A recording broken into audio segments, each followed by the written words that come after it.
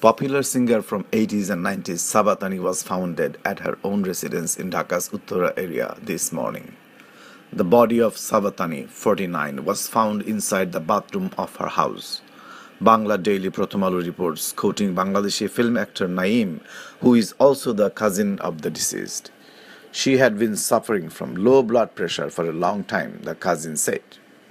Naeem, who along with his family is visiting Malaysia, said Sabatani used to live with her mother in the Uttara residence where she was alone since last night as her mother went to her sister's place.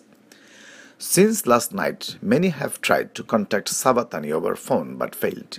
The Bangla Daily quoted Naim as saying, Finally, the singer's relative broke into the house with the help of the building's caretaker and found her lying on the floor of the bathroom. Prothom Alo also reports.